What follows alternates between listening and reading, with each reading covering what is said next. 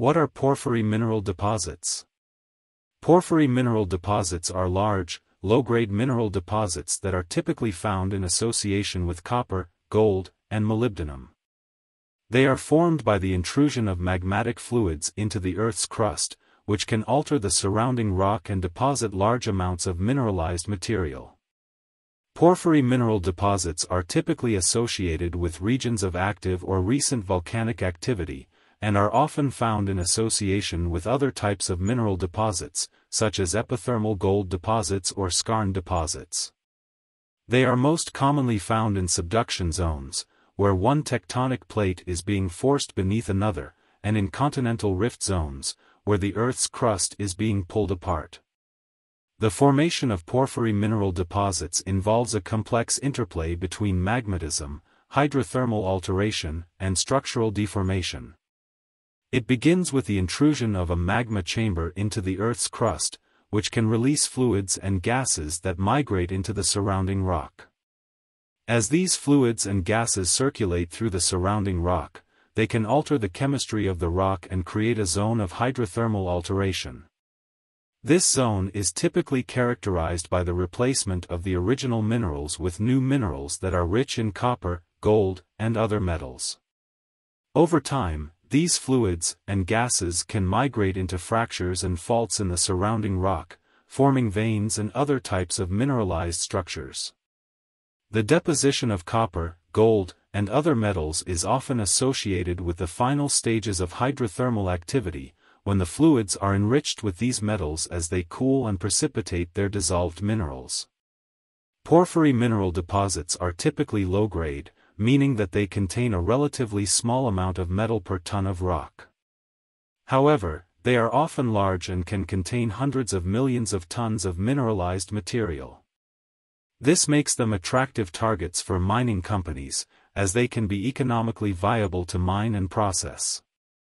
Porphyry mineral deposits are also often associated with other types of mineral deposits, such as epithermal gold deposits or skarn deposits.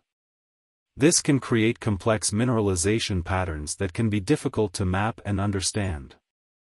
In conclusion, porphyry mineral deposits are large, low-grade mineral deposits that are typically found in association with copper, gold, and molybdenum.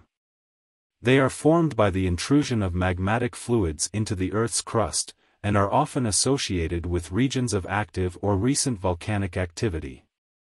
The formation of porphyry mineral deposits involves a complex interplay between magmatism, hydrothermal alteration, and structural deformation, and they are often associated with other types of mineral deposits, creating complex mineralization patterns that can be difficult to understand. How are porphyry deposits formed? Porphyry deposits are formed through a complex process that involves several stages of geological activity. The formation of porphyry deposits begins with the intrusion of a magma chamber into the Earth's crust. This magma is typically derived from the partial melting of the mantle or the crust, and is enriched in a variety of elements, including copper, gold, and molybdenum. As the magma chamber intrudes into the crust, it heats and melts the surrounding rock. The heat and fluids released during this process can create a zone of alteration around the intrusion, called the potassic alteration zone. This zone is characterized by the replacement of the original minerals with new minerals, such as biotite, potassium feldspar, and magnetite.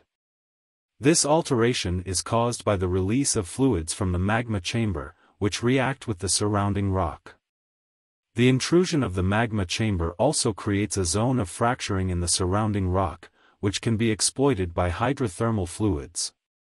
These fluids are typically hot, acidic, and mineral-rich, and can be derived from the magma chamber or from other sources. They migrate through the fractures and react with the surrounding rock, creating a zone of phyllic alteration. This zone is characterized by the formation of minerals such as sericite, quartz, and pyrite, and is typically found around the margins of the potassic alteration zone. As the hydrothermal fluids continue to circulate through the fractured rock, they can deposit minerals and metals in the fractures and in the surrounding rock. This process is called vein mineralization, and it is responsible for the formation of copper, gold, and molybdenum deposits in porphyry systems. The minerals that are deposited in the fractures are often associated with quartz, and are typically referred to as quartz veins. The deposition of minerals in porphyry deposits is often associated with changes in the fluid chemistry and temperature. As the fluids cool and the pressure decreases, they can deposit minerals such as chalcopyrite, bornite, and molybdenite. These minerals are typically found in the deeper parts of the porphyry system, and are often associated with the highest grades of copper and molybdenum. The final stages of porphyry deposit formation are often associated with the interaction of the hydrothermal fluids with the Earth's surface. This can result in the deposition of minerals such as gold, which are often found in association with epithermal deposits that are formed in the shallow parts of the porphyry system. In conclusion, porphyry deposits are formed through a complex process that involves the intrusion of a magma chamber into the Earth's crust, the formation of alteration zones around the intrusion, the circulation of hydrothermal fluids through the fractured rock, and the deposition of minerals and metals in the fractures and in the surrounding rock. The final stages of porphyry deposit formation are often associated with the deposition of minerals such as gold, which are typically found in association with epithermal deposits that are formed in the shallow parts of the porphyry system. Please don't forget to subscribe to my channel and turn on notifications.